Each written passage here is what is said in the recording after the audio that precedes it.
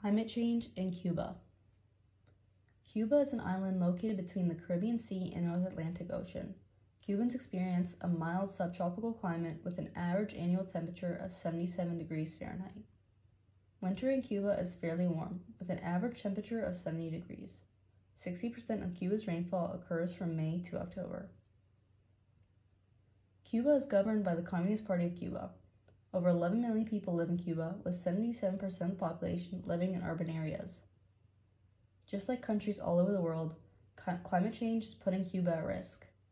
Cuba currently faces challenges such as soil degradation, droughts, coastal flooding, receding coastlines, higher temperatures, more frequent hurricanes, and sea level rise. Coastlines are receding at a rate of 1.2 miles per year.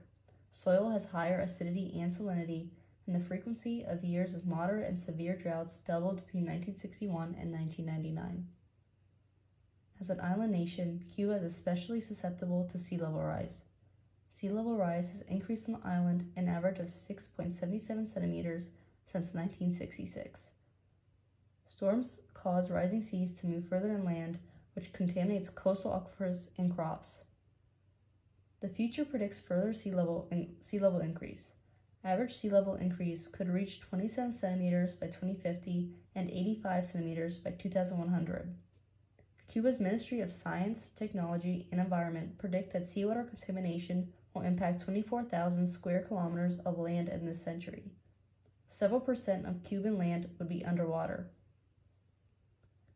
Other future problems due to climate change are stronger hurricanes, increase in forest fires, more climate-sensitive diseases, decrease in biodiversity, and, increase, and an increase in intensity of Cuba's current problems.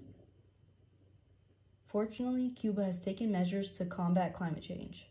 In 2008, environmental protection spending increased from 41.9 million pesos to 335.6 million pesos. There has been no new construction of residential housing, factories, or hotels in low-lying zones. Cuba has also started resettling communities that are located in fra fragile areas.